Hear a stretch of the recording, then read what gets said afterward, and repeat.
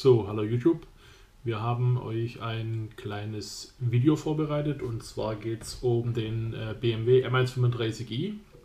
Den hatten wir letztes Jahr zum äh, ein paar Hardwareänderungen machen und den Software-Datenstand anpassen.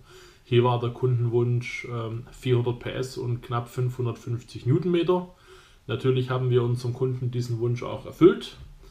Ebenfalls der Wunsch war, die Hardware umzubauen und hier sollte eine Catalyst Downpipe verbaut werden. Die haben wir verbaut und deswegen möchte ich euch jetzt ein Video zeigen, ähm, wie das Fahrzeug klingt mit der geänderten Hardware und der geänderten Software.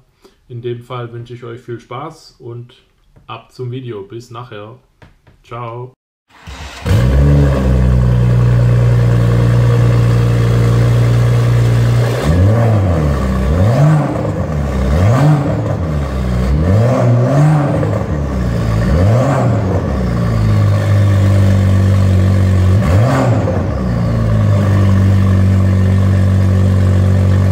Ich hoffe, ihr konntet einen kleinen Einblick erhaschen, was rauskommt, wie es sich klanglich ändert. Ähm, weitere Videos werden folgen. Das nächste Video kommt am Freitag und zwar geht es da um einen VW Golf 6 GTI.